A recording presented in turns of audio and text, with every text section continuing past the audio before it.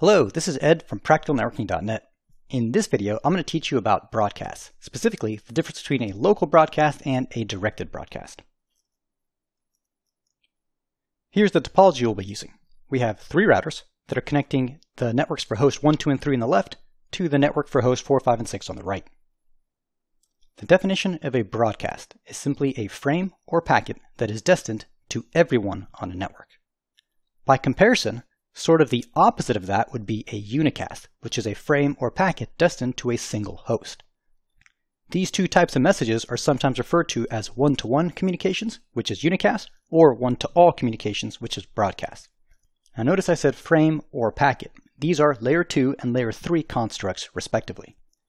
At layer 2, a broadcast is any layer 2 header with a destination MAC address of all Fs. This is a specially reserved MAC address, which implies that this particular frame needs to be delivered to everybody on the network. At layer 3, there are two options for what goes in the destination IP address field. Those two options are the local broadcast or the directed broadcast. Directed broadcast is sometimes referred to as targeted broadcast. Those are simply two terms that mean the same thing. Either way, let's talk about the concepts of local broadcast versus directed broadcast. The local broadcast is the destination IP address 255.255.255.255. This is a special reserved IP address, which indicates that this particular packet should be delivered to everybody on the local network. But rather than just tell you, I want to show this to you. This topology on your screen is actually something I've built in GNS3. It just looks prettier with the IP addresses and the labels in PowerPoint but we can use these hosts to prove the behavior of the local broadcast and in a moment the directed broadcast. So let's jump on host 1. Let's send something to the local broadcast IP address. Now first I want to show you for comparison purposes a unicast. This is a message that is a one-to-one. -one. I'm going to shoot a ping to host 3's IP address. This is probably something you've done many times before. This is an example of a unicast packet. Notice I sent a ping to host 3 and I got a response from host 3. Now let's actually test the local broadcast IP address. Now notice on the 10.1.1.0 network, I have four nodes. I've got each of the hosts, host 1, 2, and 3, and I also have router 1's IP address. Router 1 has an IP address on the 10.1.1.0/24 network. Which means if I send something to the local broadcast IP address, I should expect four responses because there are four nodes on that network. So let's go ahead and shoot something to the IP address 255.255.255.255. Here's the ping that I shot, and notice I got four responses. One from host 3, one from host 2, one from host 1, it responded to itself, and then finally one from the router, from 10.1.1.1. So that's an example of a local broadcast. I was able to use the IP address 255.255.255.255 to speak to every host on the local network. So now let's talk about directed broadcast. The directed broadcast IP address is the broadcast IP of each subnet. So to figure out what this is, you just have to do a little bit of subnetting. If you want to learn how to do subnetting, go and check out the Subnetting Mastery playlist. There'll be a link in the description. Otherwise, notice host 1 is on the 10.1.1.0/24 network.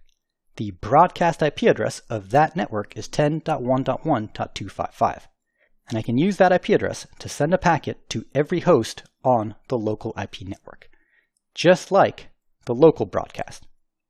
Let me show this to you. Over here, I had sent something to the local broadcast IP address. Now I'm going to show you that I can do the same thing using the directed broadcast IP address. I'll shoot a ping to the IP address 10.1.1.255, and I should expect four responses and just as expected, here are those four responses. One from host 2, from host 3, from host 1, again it responded to itself, and then also one from the router. So that proves the behavior of the local broadcast and the directed broadcast. That you can use either of these things to send a packet to every host on the local IP network. Now, you might be asking yourself, why do we have two different items that do the exact same thing? That's a great question. The reason is you can also do something else with a directed broadcast that you can't do with a local broadcast. That something else is that you can use the directed broadcast to send a packet to every host on a foreign network as well. Notice over here, we've got the 1033.0 slash 25 network. from host 1's perspective, that's a foreign network that exists somewhere on the other side of the internet. We can use the directed broadcast IP address of this subnet to send a packet to everybody on this network. Now, since this is a slash 25 network, the directed broadcast IP address for that network is 10.3.3.127. So let me prove that to you. We'll bring up host 1 again, and we'll make this a little bit smaller so we can see the host in the background. And I'm going to shoot a ping to the directed broadcast IP address of the 1033 network. Again, there are four nodes on that network, the router, and then the three hosts, and so we should expect to receive four responses. If I hit enter here, you'll notice I received four responses. One from each of the hosts, and then one from router 3 itself. Now, oddly, router 3 decided to respond from this interface IP address, the 1023.3. I would have expected router 3 to respond from this interface IP address, 1033.3. I don't know if that's a bug or if that's working as intended. Either way, it does show you that you can use a directed broadcast to send a packet to every host on a foreign IP network. So that's the difference between the local broadcast and a directed broadcast. To recap, a broadcast is a frame or packet destined to everyone on a network.